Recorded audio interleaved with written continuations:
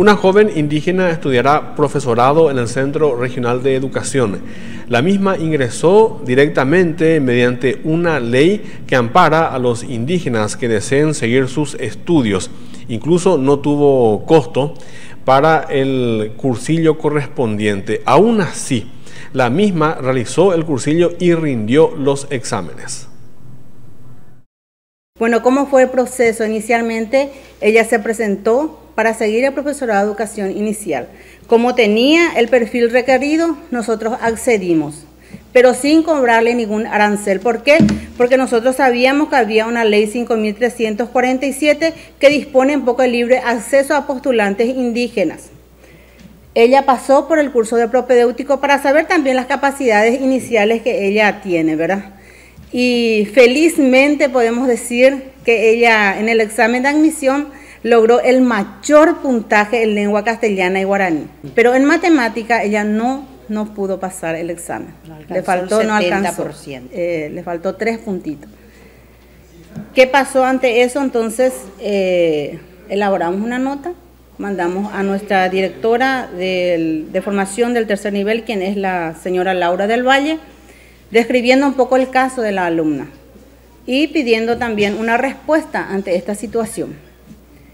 Ante este caso también yo ya le hablé al secretario de Educación qué podíamos hacer al respecto para que ella realmente tenga el derecho del acceso directo según la ley 5347. Y solicité su anuencia a la señora directora para enviar esta misma nota a la viceministra. Envié a la viceministra con un mensaje a la viceministra.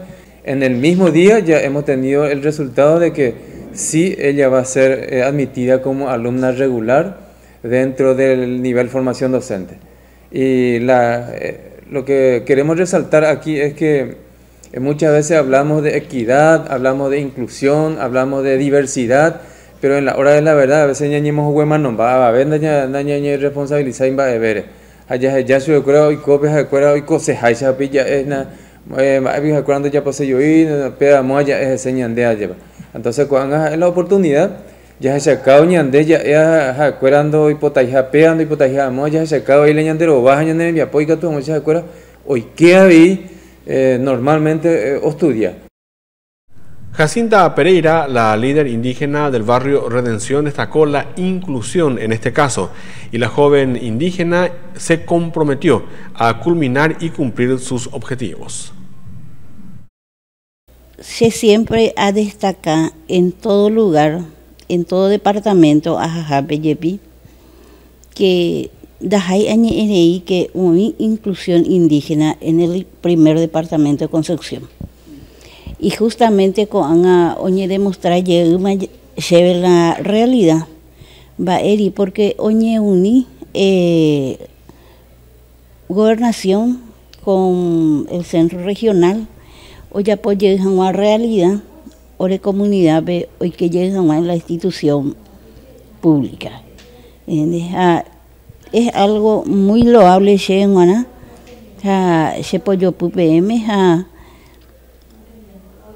la ella me la promete que con toda la predisposición con apela se me a modo lo hace entero y la se me eh o seguida hoy cojan la realidad, algo muy notable eh, institución. siempre hay que destacar que la estudia sea la posibilidad, la oportunidad, porque son dignos merecedores de respeto ahí entero vea. Porque él entero y oye portaba ahí la gente cuera oye Jesús de la ipona y la comunidad pegua. Ya puedo hacer desde la pe pe ya fuerza a la pe cala hay que jamás la ah eh, sí la formación docente para las alumnas a eh, a prometer PM que si siempre hasta la clase pe ahora ve a en el nombre de Jesús, ayer recibían a ese título. Los pobladores de Torales San Roque, distrito de Loreto, siguen manifestándose frente a la sede del Poder Judicial, mientras se realiza un juicio oral por el caso de que los mismos vecinos trataron de impedir o tratan de impedir la plantación de soja en la comunidad. Orengo la comunidad Mutetepe, corazón tepe, niño se. Soja, la soja cuando cacuay, veneno, une, opea, orero y cuapona, hoy me alrededor de eh, la terreno cuera, la oño ja, que está hoy oga, o asa mitad escuelero, o asa ojola, y terreno cuera, yerere, dejándole coi la barrera protectora la y y terreno cuera y catuan maisa oreco y el derecho la oño tío a la está hoy entero a sala y terreno cuera lupi a copiar en donde poñembo entreco ape oñe no 20 por la comunidad gua co palacio de justicia pe con a cuera hina a opear en donde pero le me co ape no manifestar y nada ¿Vende la soja vende de comunidad?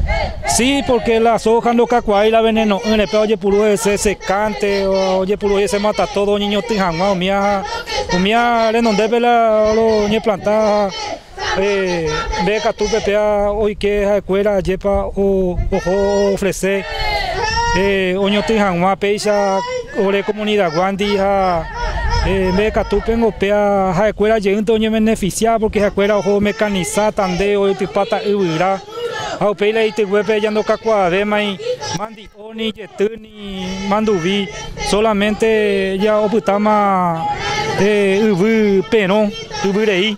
A mi ale donde pe na y me go a toda Alessandro que pe la padre escuela o Coño solucionamos, weón, no lo mandamos a mí la escuela, pero la, o la familia escuela. ¿Vos metros de la escuela la lugar donde no te la 120 metros en la escuela, y jala tu pagoca, tu, vamos, 40 metros escuela de hoy en la y terreno escuela ahí. Desde mañana, la Secretaría Nacional de la Juventud estará eh, pagando las becas correspondientes a los estudiantes del Departamento de Concepción. Aproximadamente 200 jóvenes son beneficiados con estas becas. Justamente me estuve comunicando ahora con la gente de Asunción, ya están eh, realizando los pagos, eh, creo que están ahora por la ciudad de, Villa Ayes, entonces terminan por esa zona del Chaco hoy y mañana empezamos acá a la mañana, más o menos a las 8, 8 y media a reventar estaría empezando eh, los pagos a todos los, a los estudiantes que fueron calificados para, para esta dicha beca de la Secretaría Nacional de la Juventud, aproximadamente hasta las 11, 10 y media, 11 estarían acá por la ciudad de, Concepción, ¿por qué? Porque luego tienen que ir nuevamente a agarrar su vehículo e irse para la ciudad de, de ¿Cuál es la cantidad de jóvenes que van a estar recibiendo el tema del pago acá? Y aproximadamente 200 jóvenes están que son beneficiados por, por esta beca. Eh, también déjame mencionar que tienen que que venir eh, cada, cada estudiante que, que salió becado con, con, su cédula original y una copia de, de, dicha cédula también autenticada por escribanía. ¿Cuál es el monto que van a estar recibiendo? Eh, dos millones de guaraníes es el monto total en, dos desembolsos, como, como se dice. Eh, creo que ahora estarían recibiendo un millón de guaraníes y, y, luego más o menos fin de año el otro un millón. La gobernación también tiene disponible al menos una ayuda económica para jóvenes interesados. Sí, sí, hay una ayuda económica que, que, da el señor gobernador para los estudiantes que no pudieron acceder a, dicha beca de la Secretaría Nacional de la Juventud, que es de 500 mil guaraníes, que ahora estamos recepcionando las carpetas.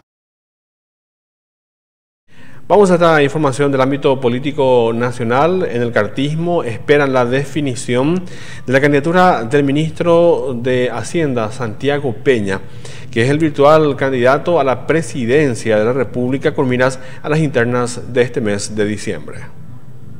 El diputado colorado Ramón Romero Roa afirmó que en los próximos días se anunciará la dupla presidencial por el Movimiento Honor Colorado, donde el ministro de Hacienda Santiago Peña sería el precandidato junto al gobernador de Itapúa, Luis Naitim. En el menor tiempo entiendo que estamos en una etapa donde ya tenemos que definir eh, quienes están con el proyecto político dentro del partido, está definiendo sus, sus duplas. Y, no, no sé si esta semana, pero yo creo que la próxima semana. Al oficializarse la candidatura de Peña, el ministro de Hacienda dejaría el cargo. El parlamentario habló del perfil del sucesor del secretario de Estado. Yo creo que el perfil va a ser siempre técnico. Entiendo que e, e, ese es un trabajo que no se puede descuidar y, hay que nominar a quienes correspondan ahí desde esa área, de esa visión y de esa proyección. También opinó sobre las declaraciones del Monseñor Edmundo Valenzuela sobre el Tratado de Yacyretá que debe ser analizado en el Congreso. Entiendo que el arzobispo Valenzuela habló de la necesidad de que nosotros los parlamentarios analicemos bien el acuerdo en los términos que se ha definido y en el llamado que él hizo de defender el patrimonio nacional en todos los niveles, no solamente en el tema de Yacineta, habló de Itaipú, habló de, otros temas que hacen a, nuestra identidad. El gran debate se va a dar en el Senado, tendremos que ver eh, cómo, cómo, el Senado eh, describe eh, o analiza y discute el acuerdo. Y una vez que tengamos la formalización de la llegada al Parlamento tendremos también nuestra propia opinión, porque al final de cuentas el documento oficial entiendo, no sé si ha llegado o va a llegar al Parlamento.